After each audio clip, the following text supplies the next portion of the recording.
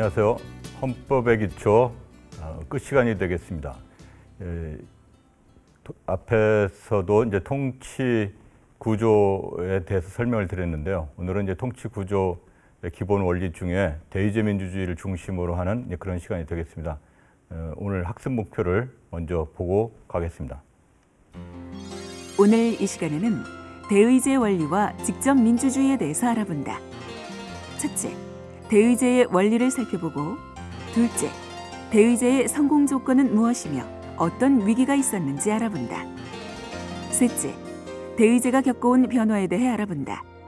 마지막으로 대의제를 기반으로 한 직접 민주제에 대해서 살펴본다. 네, 이렇게 해서 지금 이제 이번 시간에 이제 주요 어, 원리는 이제 대의제 민주주의 원리에 대해서 보는 그런 시간이 되겠습니다. 그래서 이제 앞 시간에 통치 기구의 구성 원리로서 국민주권의 원리, 권력 분립의 원리가 있고 또 대의제 민주주의 원리가 있고 그리고 법치주의 원리, 그리고 책임 정치 원리 이런 식으로 이제 교과서가 구성이 되어 있거든요. 그래서 이제 통치 구조라고 하는 것이 그냥 어, 그냥 있으면 되는 것이 아니고 이런 원리에 입각해서 조직되고 운영되어야 된다라고 하는 것을 반드시 좀 여러분들이 이해를 해주셔야만 헌법을 그러니까 헌법답게 이해하는 것이고 그냥 헌법에 있으니까 어, 어, 정부나 대통령이나 어, 법원은 그냥 헌법이 정한 권한대로 해야 된다. 이게 막연하게 있으면 안 되는 것입니다. 그러니까 거꾸로 이러한 권한들이 바르게 구성되어 있는가, 또 바르게 구성돼서 운영되고 있는가 이런 안목을 길러야 되는 것이죠. 그러려면은 이 통치기구라는 것도 아무렇게나 운영 조직되는 것이 아니고 헌법의 본래의 목적에 맞는 그러니까 일정한 원리에 부합되는 그런 조직과 운영을 갖춰야 된다. 이런 관점을 지금 배우는 것입니다. 이 통치기구와 관련해서 아주 중요한 원칙 중에 하나가 이 대의제 민주주의 원리인데요. 이 대의제 민주주의 원리는 때에 따라서는 의회제 민주주의라고도 합니다. 의회 정치 원리 뭐 이런 표현들이 다 같은 용어라고 이렇게 보시면 되겠거든요.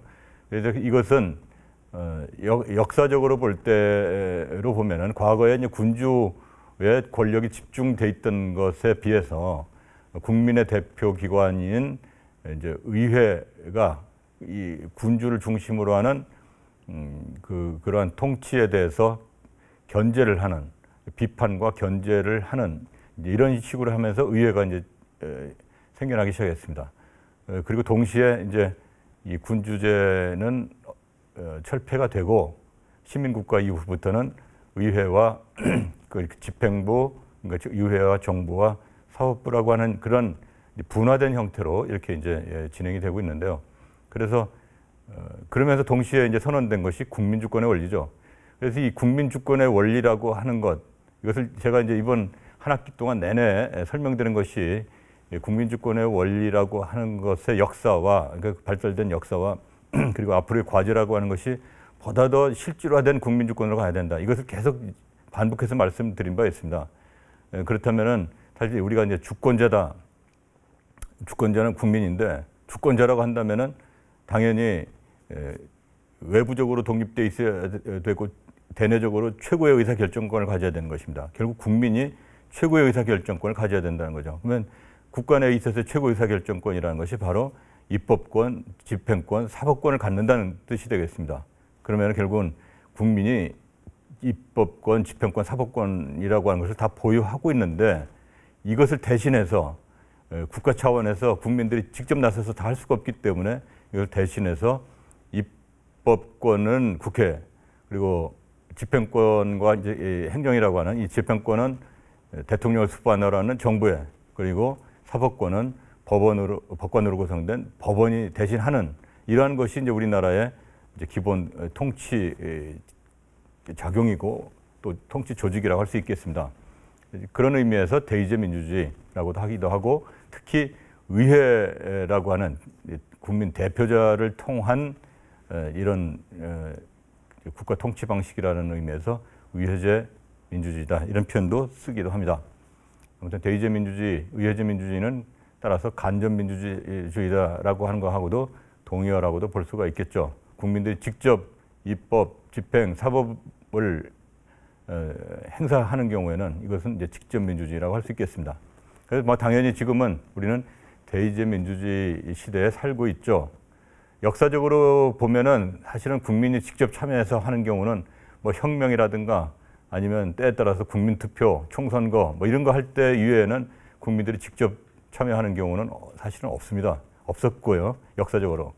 그런 면에서 보면은 오히려 대의제 민주주의라는 것이 군주제에서부터 어, 역사 발전 과정 중에서 이제 그 생겨난 것이고 사실상 국민 주권자는 한 번도 제대로 입법 집행 사법을 직접 행사하거나 참여하는 이런 경우가 없었다고도 볼 수 있습니다. 그런 의미에서 직접 민주주의라고 하는 것은 허구적인 어, 그냥 그 미래의 하나의 과제로 남아 있을 수도 있겠습니다. 예, 그렇지만 우리가 규범적으로 본다면 주권자는 항상 주권자였던 것이고 그런 의미에서 입법 사법 집행을 맡고 있는 공직자들은 예, 국민의 심부름꾼임에 틀림없습니다. 국민을 위한 봉사자라는 거죠. 예, 그, 그러니까 우리가 현실에서는 국민의 봉사자 가 아니고 군림하는 입장이고 또 규범적으로 보면 국민의 봉사자인 뭐 이런 관계 속에서 우리는 현실을 살아가고 있는 음, 그런 과정이라고도 볼 수 있겠습니다.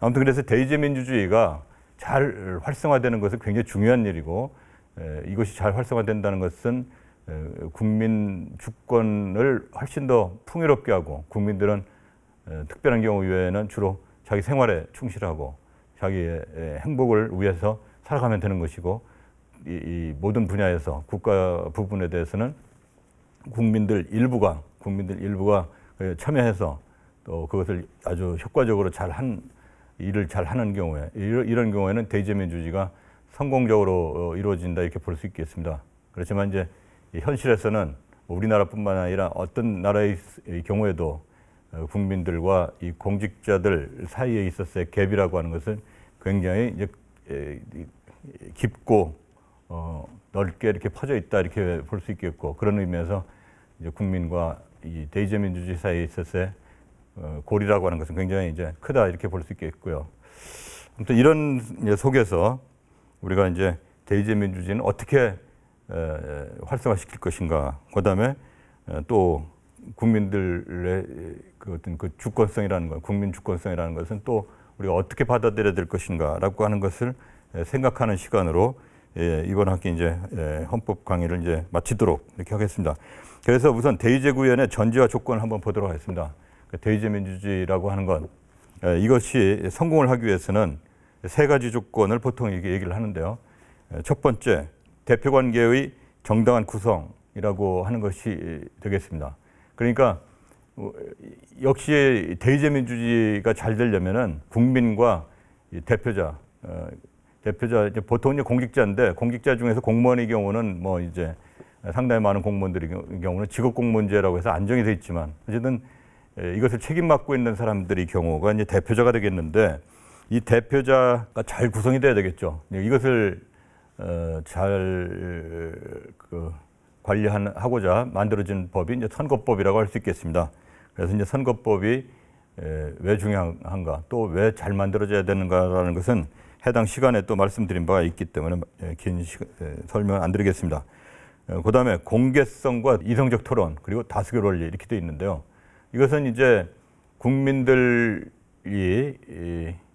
이거나 혹은 이제 국민들을 지금 뽑혀놓은 이 의회를 보더라도 아무튼 전 사회가 역시 이제 공개적이어야 되고 또 이성적 토론 그리고 다수결 원리 이런 것이 이제 확보돼야 된다는 것인데 결국 이제 표현의 자유가 있어 그러니까 민주주의를 위해서 민주주의를 위해서는 역시 표현의 자유가 보장돼야 되고 그러니까 정보가 또 어, 공개돼야 되고 그리고 이제 토론도 좀 이성적 토론이 이루어져야 되고 어, 그리고 그, 많은 토론 속에서 결론이 나와야 되는데 결론이 안 나오는 경우에는 다수결이라고 하는 것에 의해서 결정된다.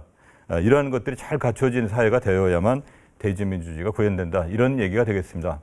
이게 이제 다 우리 주변 또 우리나라 정치나 우리 주변을 돌아보면 될 것 같습니다.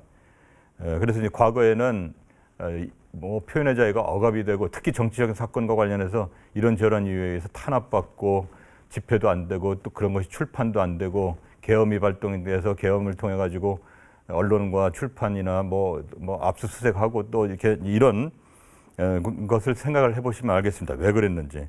이 결국 에, 또 이제 억압된 상태 속에서 국민 투표를 하니까 투표도 투표답지 않은 그러니까 에, 그러니까 이성적 토론이 아니라 정말 억압된 속에 있었어야 자기 의사 표시를 하는 뭐 이렇게 돼 있고 또 다수결 원리보다는 뭐 국회나 곳곳에서 이- 이런 날치기 통과라고 하는 그런 형태를 통해 가지고 이루어졌던 이런 시대를 생각해 보면은 우리 사회가 우리 사회에 있어서 대의제가 왜 안 됐는가라고 하는 것을 이러한 조건을 통해서 우리가 적용을 해보면 알 수 있을 것 같습니다. 세 번째 대의제 구현의 전제 조건은 예, 정권 교체 가능성이 이렇게 되어 있습니다. 이 정권 교체 가능성이라는 것은 바로 이제 우리가 평화적 정권 교체 가능성인데 이 정권 교체 가능성이라는 것은 소수자가 다수자 되고 다수자가 소수자 될 수 있는 그 기회가 열려 있어야 된다는 거죠.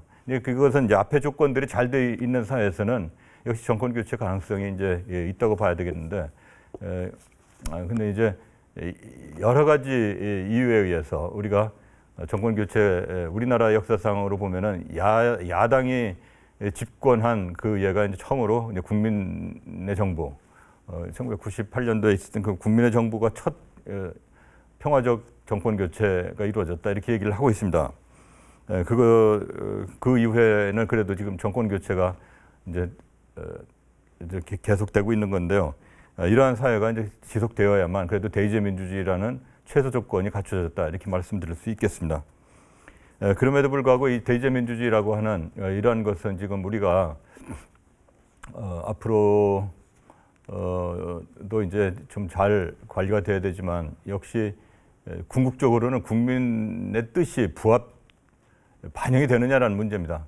정말 에, 국민 한 사람 한 사람들 우리 이, 이, 지금 이 가, 같이 이것을 생각하는 여러분들 스스로가 나의 뜻이 입법부에 반영되고 있느냐 아니면 집행부에 반영되고 있느냐 사법부 재판에 반영되고 있느냐라고 하는 것을 볼 때 거기에서 지나친 소외감과 거리감을 갖는다고 한다면 그것은 분명히 대의제가 잘못되고 있다고 볼 수 있겠습니다. 그렇기 때문에 이제 결국은 우리는 이제 국민이 국민의 의사가 반영되는 진- 진짜로 반영되는 그런 대의제 민주주의는 어떻게 해야 될 것인가라는 것을 고민하고 또 그런 것을 만드는 노력을 지금 기울이는 그런 단계에 있다고 볼 수 있겠습니다. 네, 그런 면에서 먼저 우리는 이제 큰 단위에 있어서는 대의제 민주주의가 불가피하다고 보지만 작은 단위에 있어서는 역시 직접 민주주의라고 하는 것을 대폭 도입을 할 필요가 있, 있다라고 하는 그런 이제 결